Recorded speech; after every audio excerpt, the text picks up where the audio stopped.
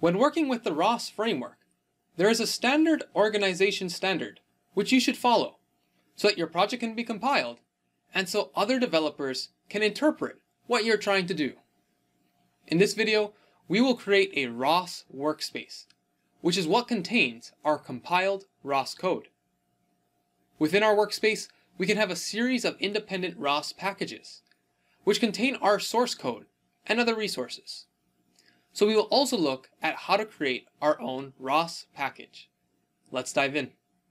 So before we do anything on Linux, let's get an illustration of what our file structure should look like. First things to start off our development is to create what is called a Catkin workspace. It is apparently called that just because that was the name of the plant that would grow outside of the office of the original ROS developers Willow Garage.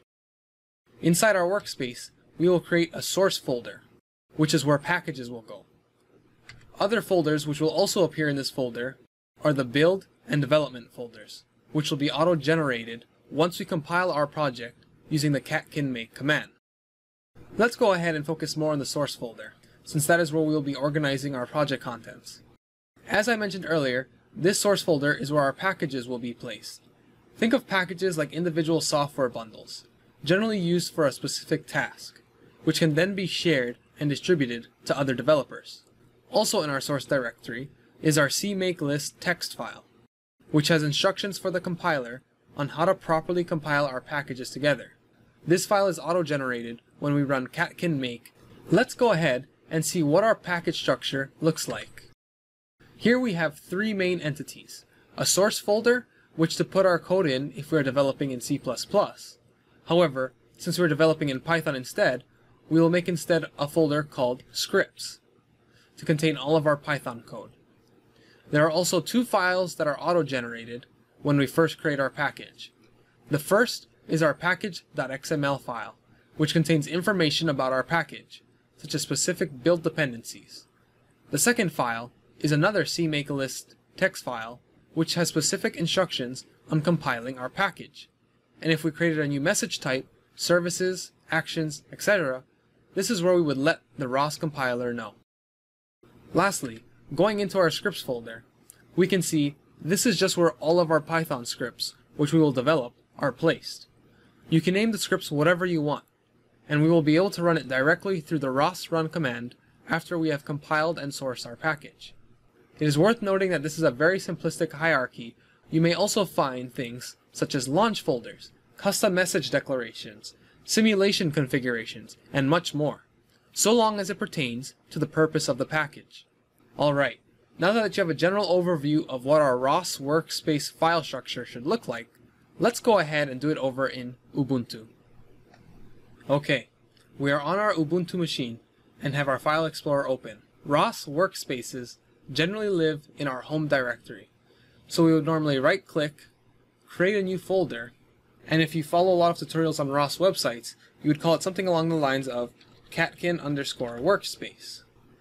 Now in my experience, this is not a very descriptive of what this workspace is for, and this will start to get unorganized if we want to make new separate projects. Instead, I recommend we call this folder workspaces. Now if we go into our workspaces folder, we can go ahead and make individual project workspace folders. Generally this would be the name after a particular robot we are working on. We're just going to go ahead, right click, new folder, and we're just going to call this Udemy underscore WS for workspace abbreviation and hit enter. As we mentioned in the previous slides, the first thing to create in our workspace is a source folder. So we'll go ahead, right click, hit new folder, and type src and hit enter. With the terminal open, let's change into our source directory by typing cd workspaces udemy underscore workspace and then source. Just a reminder that hitting the tab key as you are typing will prompt autocomplete, which can save you some time. Now that we are here, let's type in catkin underscore create underscore pkg. Now this command takes in a couple of parameters. The first being the name of our package. I'm going to call this udemy underscore pkg. The following parameters will be dependencies we want to include in our ROS project. The main ones I like to start off with with any ROS project is roscpp, which is for using ROS in C++, rospy, which is for using ROS in Python, std underscore msgs, which is our standard message types, and if this is for our real robot, I like to include sensor underscore msgs, which is a set of common message types used for various sensors. With that, we can go ahead and hit enter. Okay, so the command has run. We can see that our package folder was created. And going into it, we can see our package.xml file, our cmakelist.txt were automatically created, as well as an include and source folder, which as mentioned before, would be used for C++ development. The last thing we need to do to wrap up our workspace is create our scripts directory, so we have a place to put our Python files. So we'll go ahead and hit new folder, type in scripts, and hit enter. If you wanted to go a step further, we can even go ahead and compile this project, so all of our other files we mentioned earlier will be automatically generated. To do this, we'll change into our workspace directory using cd dot dot, which takes us back a directory. So now we can see our source folder is what's in this directory, which is the equivalent of me going right here. And then we can go ahead and run the command catkin underscore make. This will compile the standard components needed for our ROS project, which shouldn't take too long since we have not included additional C++ code to add to it. When it is done, we can see that our build and development folders have been created, along with our CMakeLists text file in our source folder. Congratulations, you have successfully compiled your very own ROS package. Let's do a quick recap.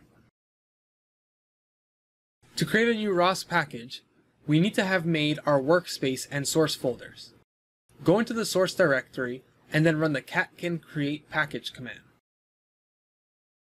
To complete our ROS project, change to the workspace directory and run the catkin make command. Hope you liked the video. Be sure to like, subscribe, and check out my online Udemy courses.